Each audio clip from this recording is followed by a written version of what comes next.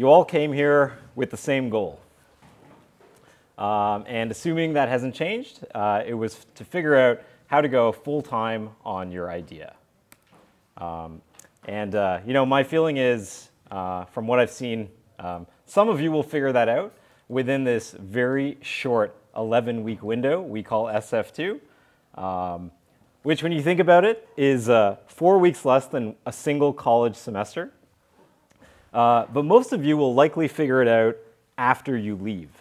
Um, and uh, it might be six months, it might be nine months, it might be a year. Um, and I have no doubt that like all of you will figure it out um, if you don't give up on your goal. I'm not just saying that. Uh, but of course, it won't just happen by itself. Uh, it's not like this automatic process where you will, where you will succeed. Um, you'll have to take certain actions. Um, and uh, you know, right now, you're all just like learning a lot of things. Um, you're learning about how to focus, uh, how to ask for help, um, how to find your true fans, how to sell authentically, right? This is what we learn here. Um, and you're learning like far more than all of that, like subconsciously as you go through this process. But I could pick only one thing that separates all of you from your goals, um, it would be this, making good decisions. So that's what we're going to talk about. Uh, and if you haven't noticed by now, um, I'm here to help you do that. Um, and so is the rest of the team. Um, and God willing, we're just a one plus buff to your decision making abilities while you're here. Um, but since we like you know, teaching people how to fish so they're not just reliant upon us, um, I'm going to teach you eight principles to help you make better decisions on your own. So, in the early days of building, your decisions actually don't matter that much. Um, you know, do I post my videos to Instagram or TikTok? I think everyone has had, you know, asked me that question at some point. Um, do I sell to businesses or consumers? Uh, seems like a very significant decision, but when you're first starting out, um, maybe it doesn't matter that much. And uh, you know, do I spend $100 on like an influencer post? Um, the answer is usually going to be the same. Um, it's just just pick one. Uh, because the main thing, you know, when you're starting out, is to just take action and gain momentum, not make like great decisions. Um, but you know, the thing that does matter at any stage of what you're doing is that internal process you have to make those decisions. Um, and uh, you know, I feel like if you agonized over any of the decision examples I just gave you, like currently, um, your decision-making process probably needs work. Um, and if you just picked a decision because you realize it didn't matter that much, um, then your process is likely pretty good. Um, and uh, this process is the thing that needs to be sharpened and honed probably over your entire life, but this is the thing that really matters. And uh, so I, you know, I thought about this for a while, and uh, I thought of like a simple way to think about it. And uh, it's kind of this three-step process. You first gather data, then you apply your judgment, and then you make a decision. So put another way, you read the menu, you see what sounds good, and then you order it. So all I want to focus on though is the see what sounds good part because that's where the majority of your energy is probably being spent. Um, and I call that judgment. And uh, so to me, like judgment is this lens uh, we see data through to make decisions. Um, if you've ever seen me make a pour over in the kitchen, I will taste it like I'm drinking wine, and then I'll be like thinking, yo, what is wrong with this? I'm judging the hell out of the coffee, and then you know thinking about how do I adjust that next time. And uh, yeah, that, that judgment is just the precursor to good decisions. Um, judgment tells you if you should hire the intern or not hire the intern. Uh, judgment tells you which track to pick for your reel that'll make people weep. Um, judgment tells you if you should say yes to DJing that 200 person event, even though you've never done it before. Um, and to illustrate the value of good judgment, do you ever wonder why some CEOs get paid millions of dollars to work less hard than you do right now? Um, and, uh, you know, they're paid that much for a very good reason. It's for their sound judgment, ideally, to make like good decisions on behalf of a lot of people. Same with artists. They get paid millions sometimes to simply make what they think people want. Uh, so objectively, I think good judgment is the most valuable trait in the world. All right, which brings me to my first principle. When the long term is unclear, just make good short term decisions. Um, so I'm going to follow these up with examples from all of you. Example Declan and Derek, right? Declan Derek building an AI study app essentially. Um, they got off to like a very strong start, making 20, 25K, um, but they had this problem. We don't know where this company is going over the next year. So what should we do today? And you know, that's a very reasonable question. If you don't know where things are going, how do you even make like simple daily decisions? Uh, I'm curious what like all of you think. What would you say to Declan and Derek?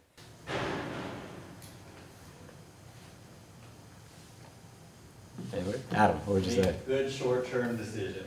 Okay, so what would you say in that case? Like, look at what you, what are some of the easiest first steps you can make based on what you've learned, or- and also what you want to try and do. Okay. So they're, yeah. Yeah, Bronson. Maintain what you have to buy yourself time. Yeah, cool. Yeah, yeah. Do people who are using it right now, do they like it? Asking if they like it, yeah. Yeah. Can you ask if they want to work on this for the next few weeks or something? Right. If they- even have it and then to work for the next one month. Right. Okay. So, you know, went for a little walk around the pier as we do. And I kind of said, do whatever improves your numbers now. No matter what you decide later, that will only be good. So that's just a, you know, just applying short-term thinking and that is like never going to be a bad idea. You've just continued to improve things. If you sell the business one day, your numbers will be better. Um, if you decide to, you know, just keep running it, that'll also be good. So I, you know, this is just a very simple way to, uh, to frame that problem. Let's give an example of Adam. He said the other day, should I just focus on making content or find a tech pivot and raise money? Right? So it's like a really good question. Like you could make a dramatic change right now and just totally affect like the trajectory of what you're doing. Um, and uh, you know what I said was like either way you need traction, right? Like focus on getting traction in the best way you, in the best way you know how, and you can come back to that decision later, right? So yeah, if you ever just get caught like in this, you know, you have no idea where things are going, there's always something you can do that no matter where this thing leads, it will just be helpful to you. And uh, I think BuildSpace is another really good example from pretty recently. Um, you know, this, this really happened. The Dubai government is offering us millions of dollars over three years uh, to run a campus. Should we take the money? And, uh, you know, I think, I actually think most people would just say yes. That was actually something we were trying to do. It worked. And then, you know, the deal came through and, uh, you know, we decided, you know, not to do it. And there was actually a really good reason for this. It was this. It was, you know, we've pivoted an insane amount over the last three years. Uh, chances are that will continue. Best to not commit to something that, you know, is almost as long as the company has been around right now, right? So, you know, it's just like, uh, it's just interesting how like something that feels like success as well can also be like the wrong, wrong decision. And, you know, we trust Farza to make, make calls like that. All right, principle two. Um, I think this is like framed in a lot of like similar ways, like pros and cons. You know, is a very simple way to kind of to, to say the same thing, but I'm gonna I'm gonna point out like a slight difference. So quickly weigh potential upside versus downside. I'll give an example of Kat. Uh, so Kat was asking me this the other day. Should I DJ this party for Brian Johnson? Does everyone know who Brian Johnson is by now? Cool. so I'm not that good at DJing yet, and I might embarrass buildspace, which to me I kind of like laughed at. Like, you definitely don't need to worry. This is a very real concern for her, though, right? So, like, what, what, would, what would you say to Kat? You know, she's, she's brought up this, this concern. Um, how would you kind of approach it? Try to understand. So the pros, pros and cons. So pros, probably a lot of people get to know you. Cons, you're just a little bit embarrassed and you have like a you know, embarrassing moment, an awful moment. I feel like, yeah, nobody likes to be embarrassed, but that's not as bad as the good. Like the good is like a, more than the bad, you know what I mean? Right. Like, if, if it goes well, then it's like very well. If it goes bad, it's a, a little bit bad. Right. I'd say like, we're usually most, our, our own harshest critics, and the things you're embarrassed about, other people probably don't even think about. Yeah, right. Yeah, just agreeing with Lucas. Like, if I think about the times in the past when I thought, "Oh, don't do this because it will be embarrassing," like every single time I was just being over. I was just overthinking it. Right. Um, so, you know, I like the idea of pros and cons. The only thing that, you know, I think is like slightly different in this um, is that pros and cons seem very concrete. Like, this is the pro, this is the con. Um, you don't really know what's going to happen. So, like, the way I kind of think about it is like, what's like best case scenario and like what's worst case scenario. And it's just more of a guess. It's just upside versus downside risk, basically.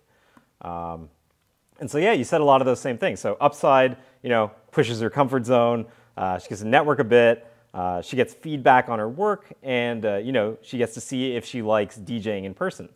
Um, downside, potential embarrassment, right? So, uh, you know, after this, what I said to her was, "It's an ideal fit. Trust me." Um, now, do I know it's an ideal fit? Absolutely not. But for me, I'm just doing this like quick analysis in my head, upside versus downside, and uh, maybe she just needs like a little bit of confidence, and it's just like, just go for it. Um, that's so that's that's kind of how I looked at that situation. Um, Kareem, here's another another example. So um, so Kareem was uh, um, you know he had a food truck catering business. It was doing pretty well, and uh, you know now he's thinking about like another business that he's he's worked a bit on. Um, so he said, should I stop selling food truck services, which are kind of working, and pivot to selling foot traffic data, right? So like how would you how would you like approach that problem? You know, it's a big question, it's a huge decision.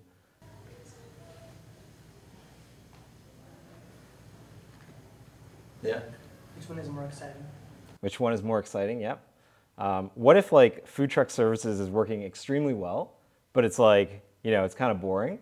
Um, but selling foot traffic data is like at zero. Would you say like kind of go after what's most exciting? Yeah. Okay. Obviously, yeah. Yeah? I would just say like if the food truck service is going, then just keep doing that. Maybe like split it like 60, 40 until like there's enough scale for the other. Okay, okay. Um, so, you know, upside, larger market, better margins, um, it's already validated, and you get to feel like excited again. Uh, downside, don't really know much about it, right? So, although it was like a significant decision, if you just like think about it, upside versus downside, you know, I, I was just kind of like, just go for it. Um, and you know, it's uh, it's important to like challenge these things. Like if someone has that clear decision, um, it's good to challenge yourself, challenge other people. Um, but if you just do some like kind of yeah, just basic basic just checks, you know, it actually can become like kind of obvious, even though it's a significant decision. Um, yeah, any any questions on that? That one's pretty straightforward. Um, all right, so principle three. If your decision is emotional, don't pretend it's logical. Um, and so, get into some examples. So, example, many many of you here actually. Um, you know, I've heard this heard this a lot. Should I keep doing what's working or try and monetize my audience, raise money, sell my business, etc. And uh, you know, there's one way to look at this, which is you know just rationalizing. And uh, I, I have heard this a lot actually over the last week. Um, like I need to make a bold move to progress, and now is the time. Um, reality, it might be just the grind is boring and I'm getting impatient. And uh, you know, it's really important to kind of like check yourself to see what is the reality. Um, and uh, you know, the main thing is just don't pretend, right? Like it's very important to know why you're making a decision. And it's completely fine to make an emotional decision. No one's saying that's the wrong thing to do. Um, but the idea is you just know exactly why you're doing that thing. Um, so, you know, uh, also, if your decision to take that bold move works out, that's really great. Impatience served you. Um, if not, at least you know next time it was actually your impatience that messed you up. So just be honest, right? So regardless of how it goes, you should know why you did that thing. And, uh, you know, example is just me a lot over the years as well. Um, this is something I ask myself, I've I'll asked myself for the last like 20 years of trying to be an entrepreneur. Um, should I keep pushing or just quit and do something better, right? And, uh, you know, I can rationalize it as I'm not progressing, so I have to change something. Reality is sometimes I just need a break. I just need to take two days off, and then I'm actually completely fine. Um, so it's just, uh, you know, it's just kind of a learning about yourself, learning, just becoming aware of how you're making those choices, and that, that's kind of it. Um, but the main, main thing is just, just admit it's emotional, um, so you can learn what's informing your choices, because that's the thing that really matters. Any questions? Is there tell like which one it is? Like if you need a break or you should, you know. Yeah, I think sometimes, like for me personally, I'll, uh, you know, taking a break is not not a hard thing to do to check. Like if I'm gonna make like a very significant decision, um, I'll probably just take a little more time with it, and I'll just be more skeptical of it. There was a time though when I would just do the complete opposite. I was just like, as soon as I felt that thing, I would just do that thing. Um, but I think, uh, you know, over time you just kind of learn about yourself. But, you know, when it's a significant decision, just ask, just check. Like maybe this is just something where you just need to take a break. Are you being objective? You can talk to other people about it. Samir? Should you wait for some decision to feel natural to you, or should you be time bound and like make a decision at that point in time? I think what's good to do, like depending on how significant the decision is, you would just allot more time to that thing. Um, and uh, you know, I think the, the, the other thing is if it keeps coming up, if that decision just keeps coming up, there's probably something you need to do about it. Like it's not just, hey, I'll just take a break and then you know I'll never feel that way again. Maybe it's like I'll take a break and then I'll need to take another break and, and it just keeps coming up. Well, it's probably like a pattern and you know, you probably need to change something at that point, you know, where the breaks don't really add up to anything. Anybody else? Question. So, what about like being that some people say like follow your gut? Like sometimes you just feel like something is the decision to take, even if you don't really know what. It's kind of an internal feeling, you know, the gut, basically. Yeah. You think that's a good like good thing to do, and like does this tend to maybe have a pattern and be like more like an emotional decision? Yeah, I just think it still like just depends on like the gravity of that decision. You know, if it's like ordering at a restaurant, you probably don't need to agonize over the decision. You can just kind of go with your gut. You're like, I just feel like that thing. Um, but if it's like something that could affect you for years, or it's like quitting a job, quitting what you're doing, you should probably give it like a little more time, right? Like that, that's probably how it, I would answer it in probably the same way. Um, yeah. Does that make sense? Anybody else? Okay. Principle four. Um, when in doubt, just do the math. Example, Mihir and Kieran. So if you don't know what Mihir and Kieran are doing, they're working on like a B2B cloud services person. Uh, pers how, how would you actually describe your thing in one line? I still can't. I still can't do it. Uh, to manage cloud using uh, code. Right. Okay. So, um, you know, in the in the last week, they uh, came up with another possible opportunity. Through exploring this, they they thought of another idea, and they asked, "Hey, is it worth like pursuing that new idea?" And uh, you know, my answer was just kind of like, make a spreadsheet. You know, uh, enter how many people you think would want this, how much they would pay, um, how much it would cost to deliver that to them all, how many you can realistically deliver on X time frame. Like you can start putting numbers to these ideas. And you know, even if it's like totally off, one, it's like an exercise in like trying to be objective and like trying to approach things like mathematically. Um, and the other thing is like, hey, maybe it'll actually be useful, and you can tell is this a $50,000 idea? Is it a $10 million idea? You just don't know. Um, and so we do this all the time here. You know, we have like 100 business models we've come up with over the last year. Um, we put some numbers to them, and you can just roughly see, you know, hey, should we do merch? Okay, well, we know how much merch we can sell. We know the margins. We know how many people, all this stuff. We know what it takes to deliver it, how many people, all this stuff. You can just put and just run the math on and see if it makes sense. Um, and so, you know, you can do that very quickly. Like we've done that with like 100 ideas. Um, you can do this in like five to 10 minutes. So if you're just not sure, you know, is this worth your time? Um, you can you can just do something like that. Has anyone ever like tried to do something like that? No one has done the math. okay. wow. yeah. Okay. Cool. Um, is anyone like wondering if their business makes sense or what they're working on makes sense? yeah. You're wondering? Cool. yeah. I'm wondering how much you should be thinking about, uh, like that projection while you're still creating. Yeah. Like, yeah. Um, I think like you know you can give these things a bit of time. Like I guess the uh, you know, like you just don't know entirely, but it's good to have like some guess, like ideal scenario, worst case scenario. You can plot both of those out, and you can just see like you know, is this even worth attempting in this way? Or maybe it'll give you some ideas for how you should approach it. Um, and yeah, so like, you know, in the example of like merch at buildspace, we can run the math on that very quickly and learn like, this will probably not be a significant business model in like five to 10 minutes, right? So that can really like inform like how you spend your time in like a relatively short amount of time. Kat, you, were you, uh, is that, does that make sense? Cool. Um, Ryan. So Ryan is building a clothing brand, um, you know, which is, uh, I'd say, like one of the harder businesses you can build. Um, and he said, I've made 1K net so far. How do I make 4K more this month? How would you, uh, how would you guys approach that? What would you say to Ryan here? I'd probably say. Michael?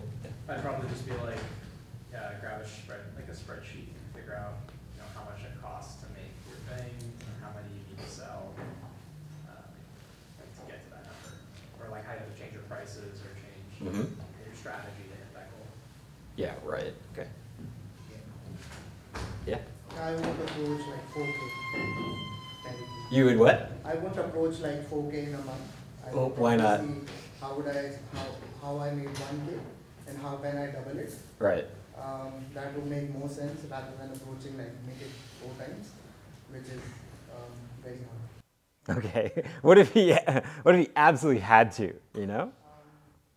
Yeah, maybe like look at other stream, like other streams where we can make business or make, make probably a clothing brand. Like make more articles, probably that. Right. Okay. Yeah. I think like, uh, I think like from, like how we made his first one K was just like within a few minutes, like over here. I think that's what most of us just thinking, so I would just say that I just do that again, like some other place, like maybe Founders Inc. or something, or like somewhere else where you can just get like twenty people, say a story in a minute and then just sell it, do the same thing, just repeat like three times, four times. Right. So like, yeah, repeat the thing that you feel worked. I guess like my question then would be like, how do you know if it worked? Was that good enough? Um, you know, did you uh, was that like a like the perfect way to make a thousand dollars, or was it like kind of like a messy way to make a thousand dollars and it could be better, right? Kieran. Um, so I think something that hasn't been mentioned is uh, the delivery aspect. Mm-hmm. Um, like, how, how long did it take him to deliver one unit, right? Right. And so then how many units can he actually deliver in a month? And then work backwards from there? Like, Yeah. If, if, because if he can't deliver more than X number of units, either he has to figure out how to Right. get two more units, or he has to figure out like a different pricing strategy. Yeah. So, you know, kind of, I said s- something similar. Um, you know, you could just do the math on that. You need to make four thousand dollars. Make four thousand dollars. Twenty-five dollars per shirt. So you better sell hundred and sixty shirts. Um, or you could, uh, you know, change up the product and you can do four thousand dollars at $500 per leather jacket and just sell like eight jackets in a month, right? Um, so you got to look at you know a lot of things. You got to look at your current audience size, how much you can grow that, how many people you can sell a $24 shirt to versus like a $500 jacket. Um, you know, can you, you know, what is the amount of time to make 160 shirts versus eight jackets in one month? Like, there's a lot of things you have to think about. Um, but I think if you kind of attempt that exercise, it'll probably point you in the right direction. And my feeling is it's probably something like selling eight jackets in a month seems like a more realistic way to get to that goal um, versus just the amount of time it would take to do, you know, um, to do shirts. So, you know, it just helps you like also just be to, to kind of like stand back from what you're doing and just see, hey, is there another way I can do this? If I just up the price here, what does that mean? You know? Um, yeah. So it seems like uh, the time boxing is a really important part of this exercise. Um, how would you approach taking time boxes? Yeah, I think you'd have to like literally look at how much time you have to spend on this, um, how much time you have to spend on like making stuff, selling it. Could you make a jacket in like five hours or does it take like 40 hours? You know, this would be like a very big question. Um, yeah, so I think that that's a good way to put it. Like you can set the, the parameters on any of these things. You can set the time, you can set the price, all this stuff, and work backwards from there. And even though it's not like guaranteed, at least the math like checks out. You can get there, and that's the theory, right? Okay, principle five. Deciding to do more than one thing at a time will likely result in failure.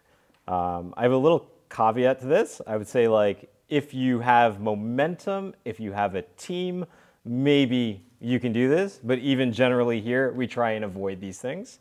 Um, so some examples. Um, you know, I've heard I've heard this one. I'll make music while making a film.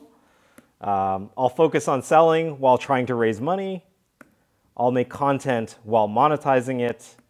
I'll build a business while I become an artist you know? Um, and what, yeah, what would you, how, how, do you, how do you guys react to, how do, how do you react to this principle in general? What's that? no one specific. What's like initial reaction to like, you know, someone saying this to you? Yeah, right. This feels little, really hard. It's really hard. Why is it hard? Um, it's already hard to do one thing, and then to add another is just another beast. It's hard to do two things at once? Yeah. Yeah, right. Okay. Has anyone tried to do like two things at once or is still trying to do two things at once? Okay. And why do you think that is? Maybe Mihir. Like, why, do you, why are you trying to do two things at once? Uh, And what, what are those two things? oh, uh, one's, one is what, uh, the, the cloud thing, and the other thing is, uh, working on coding models, and, and, and it's me and Kiran both working on, Kiran mostly working on it, but Right. we do end up splitting our attention and Right. things. Okay. Yeah, Adam. I think it's like hard to put your heart into two things at once. Okay. Like, you could do like a mindless job, kind of, and then put your heart in something, but it's hard to like try to do two really actively important projects at once. Okay. So you all kind of agree that doing two things at once is actually not ideal? Um, that's I good. have- Yeah. I feel like this is pretty personal, but like I, I try to like dodge between things because I personally find it boring after a while to like keep doing the same thing. Mm.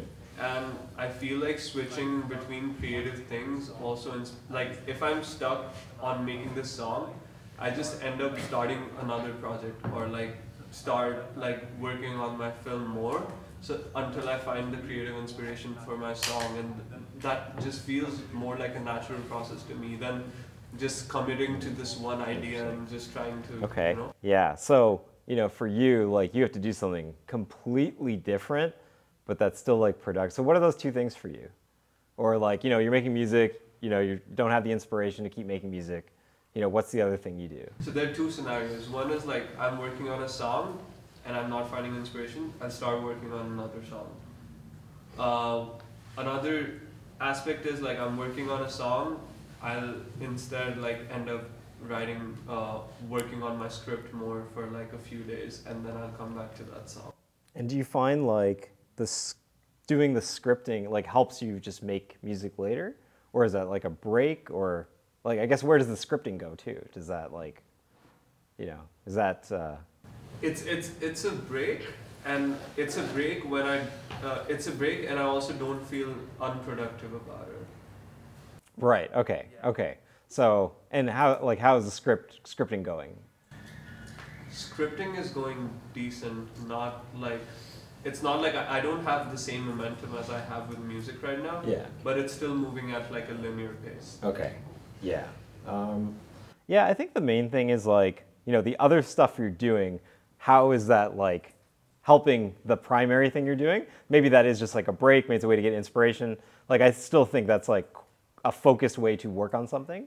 So, you know, it sounds like you're doing two things at once, but maybe not. Maybe that's just how you find inspiration or get through difficult times with the other thing.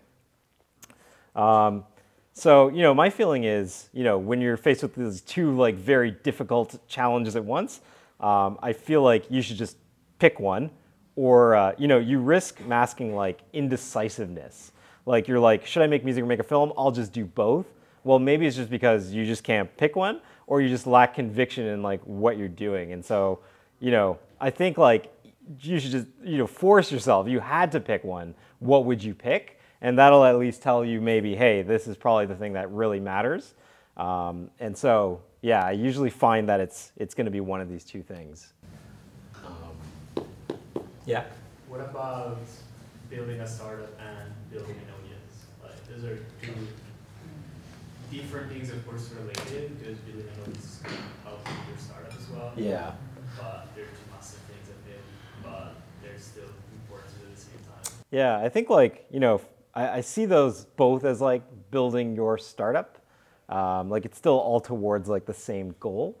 Um, I think when it's different is just like when it's just like these significant, like very significant things. It's like, yeah, uh, you know, building, yeah, building uh, uh, your career as an artist, building a business at the same time, trying to monetize like audience uh, growth. Um, like these are just both like very large things. They're both super hard. Um, um, so yeah, you know what I said was kind of like doing one of these things is hard enough, um, and you need like every advantage you can possibly get. Um, does that make sense?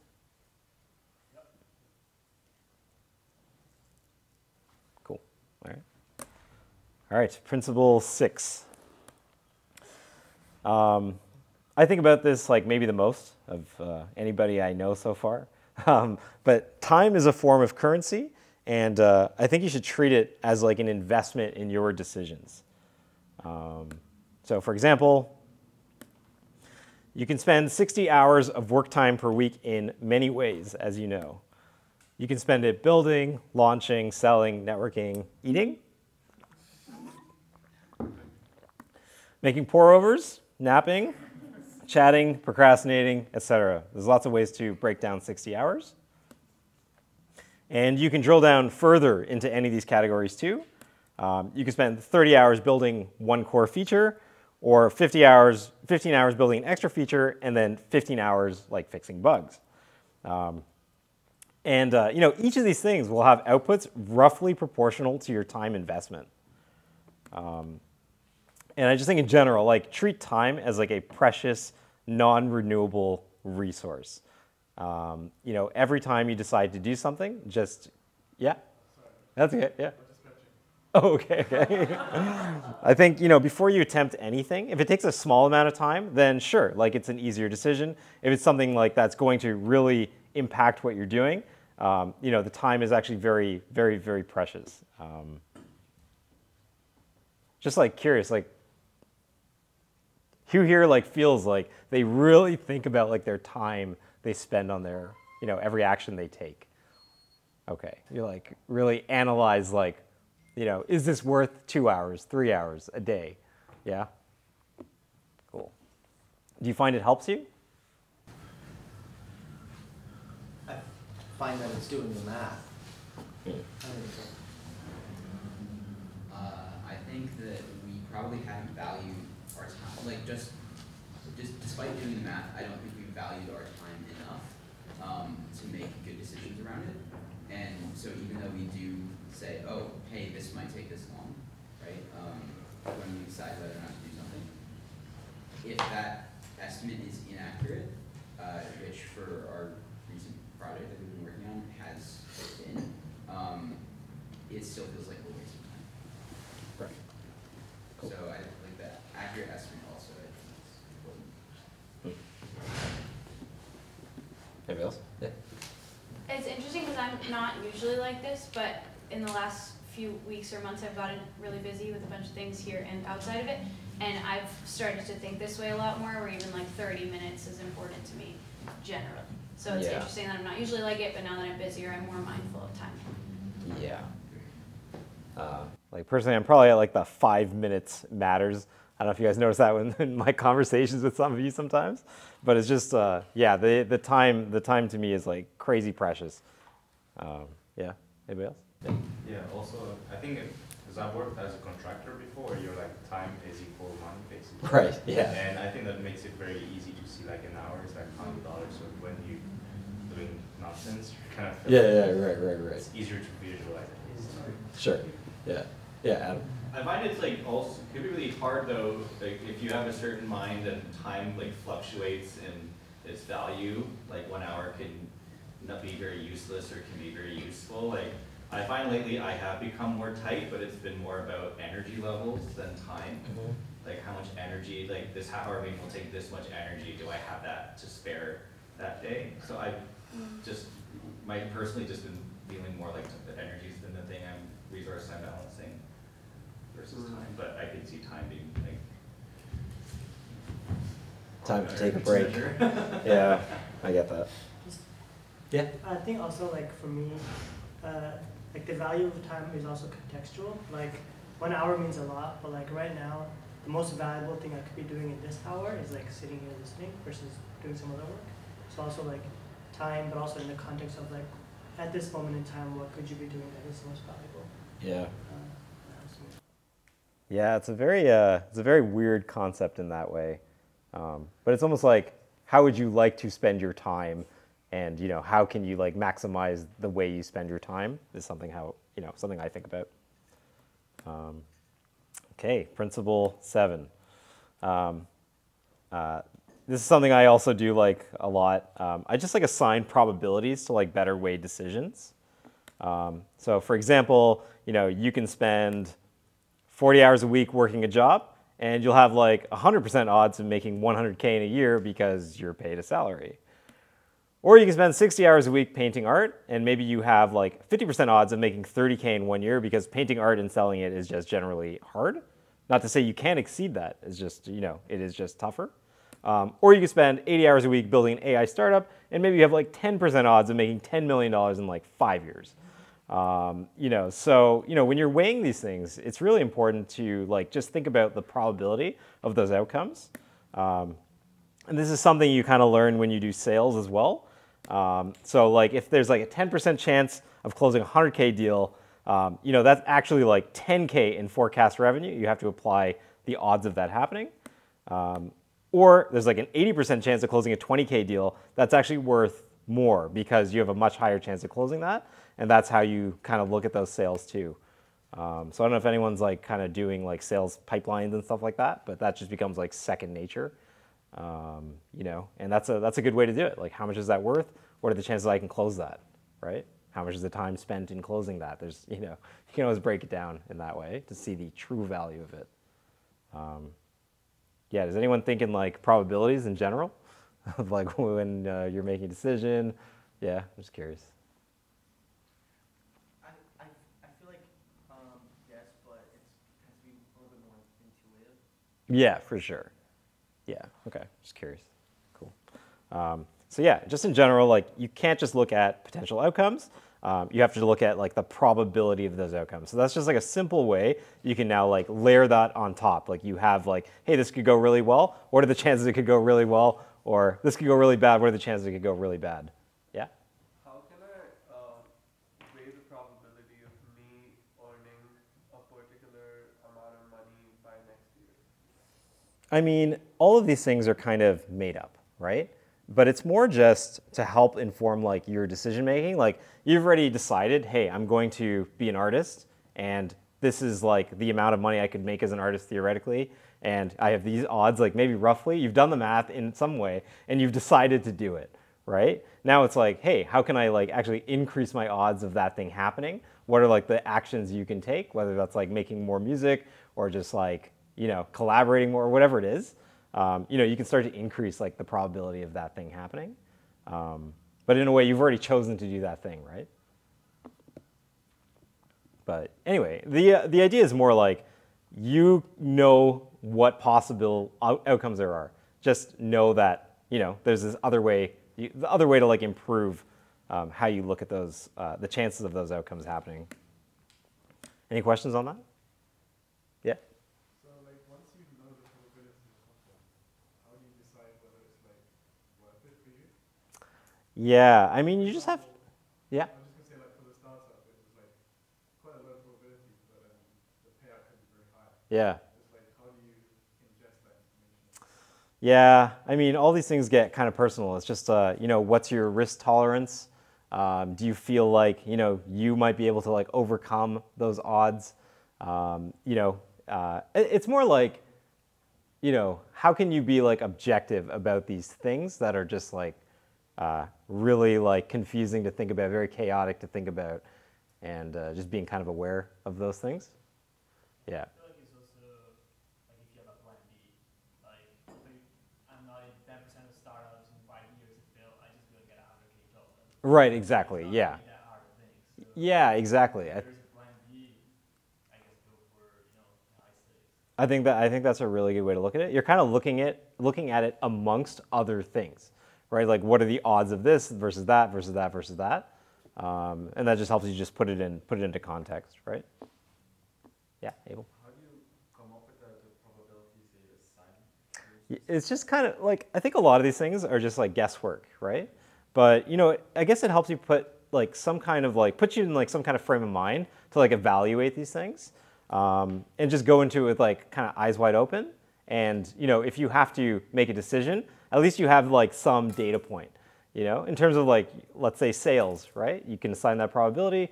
You know, the probability is a total guess. It's like how conversations are going, how fast are they responding to emails. Like you know, it's just made up, right? But it just helps you just put things into perspective. I think. Yeah. One thing that helped me pick, uh, make sense of payouts was in, to think of it in terms of orders of 10. Mhm. Um, uh, because I was, I was thinking way too much, uh, and then I was like, okay, maybe this has like a hundred dollar market or ten thousand dollar market or one Yeah. million or uh, like two thousand. Because uh, how, why, why, I don't know that. Right, right, right. Yeah, exactly. So you can just keep it simple. Um, it is all again. It is like made up.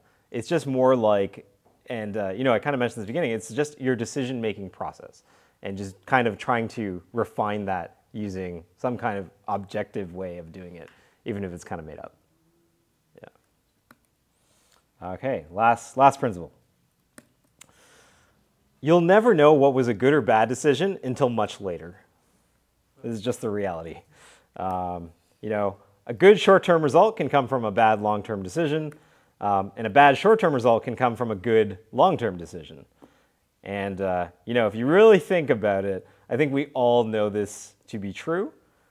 Um, so you know, life life is complex. Um, all you can do is like aim to learn and improve as much and as fast as possible, and uh, use whatever principles you've learned, and uh, take your best guess. And that's it.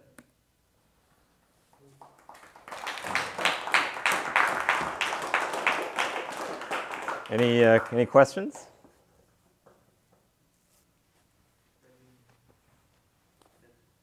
Oh, yeah. Um, you talked about like short, like, can you give us an example, like in your situation, where you did a, uh, a, a, a, re- a decision that had a long-term success or a short-term, like, uh, mistake? Short-term. It's more like something that seems to go badly in the short term um, can come from a good long-term decision. So maybe like a simple one that maybe you all understand is like leaving a job. Okay, well, you know, your pay is going to be severely affected. You just lost your source of income, but in the long run, you know, that was probably a good decision. You just don't know if it was good to leave your job until much later. You just have no idea. Maybe that job was actually great, and the thing you did didn't work out well, you know. But then maybe three years later it goes well. You just don't know, right? Um, so you know, I think my only point is like you can use all these tools, use all these principles. At the end of the day, it is just guessing, but you're trying to trying your best to take like informed guesses. Put some, just add some order to the chaos of the guesses, and that's kind of it. That's all you can do. Yeah. How do you make, how do you decide when to chill? When to chill? yeah, that's funny. Um, how do you decide when to chill? And how do you like turn off the noise? Wow. When I, during the weekends, just context, like, I try to like just chill, but I'm like always on. I'm just thinking like, what's the next thing? Hmm. I'm truly never like chilling. I feel like these are very like uh, to for me personally, like I separate almost like uh, you know working indoors from like being out in nature. If I'm like out in nature, I'm clearly like there's no way I can work. I'm just like totally disconnected from technology and business and all this stuff. Like that's just very for me personally. I think segregation of space is like very important. Yeah. Like, when I go home, I leave my laptop here. Like there's no way I can actually work. Yeah, I do the exact same thing. Yeah. Yeah. I mean, I will work at home, but it's like not quite not quite the same. Something that works for some people is turning off their phone. Yeah, turning off your phone. It just, Yeah, get the block. it's actually just a big ad for block.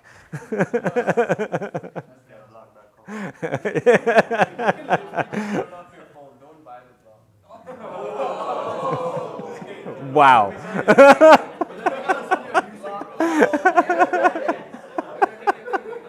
no, no, buy the block. um, yeah, cat. All right, cat.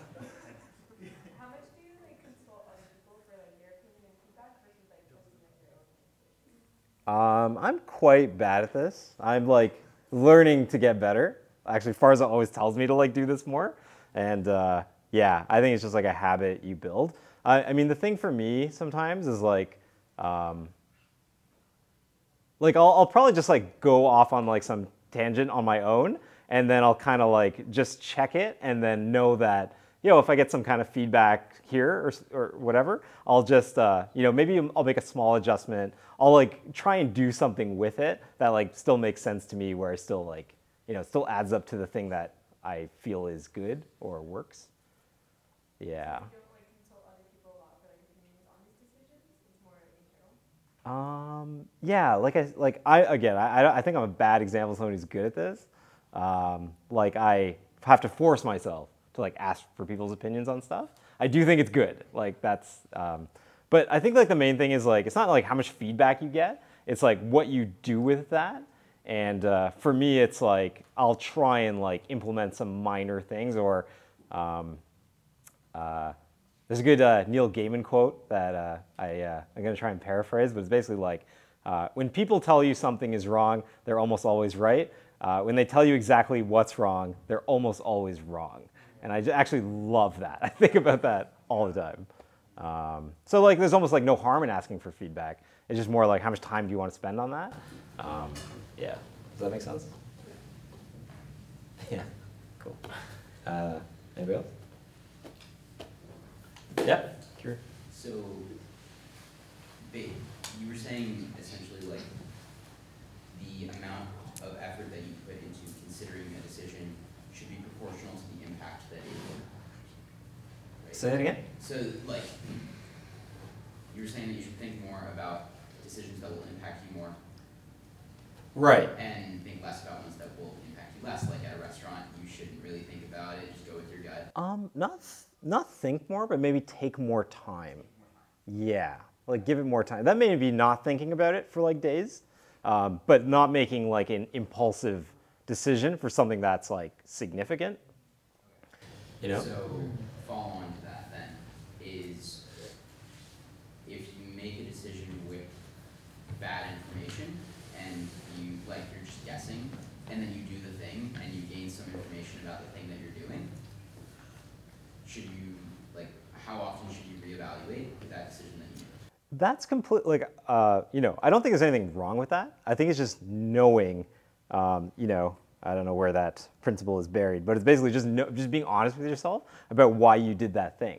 And if it turned out great, fantastic, you know. But you just know why you did that thing. And if it turned out to not go well, um, then still you learn from, you know, maybe I shouldn't be so impulsive in the in the future, you know.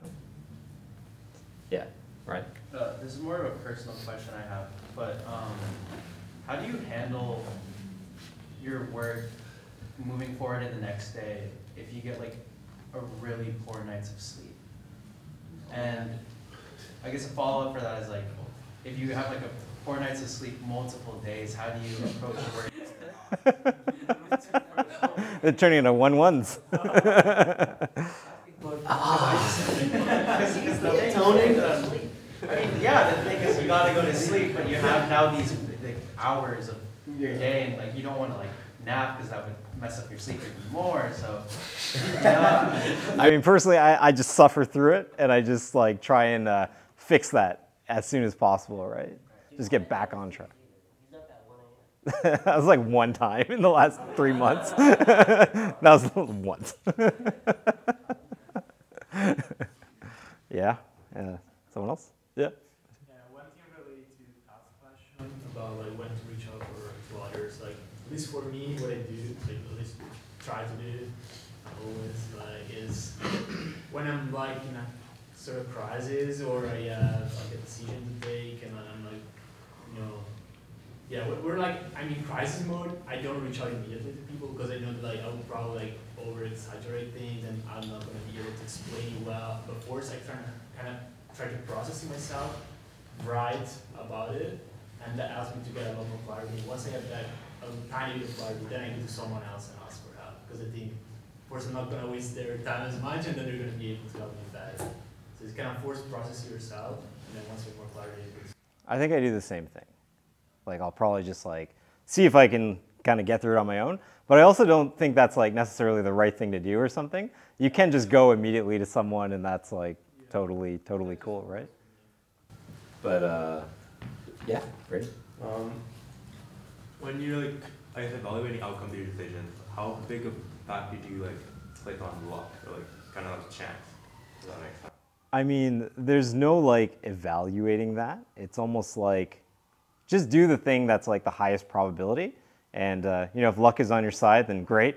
And if it's not, well, you know, you weren't expecting it anyway.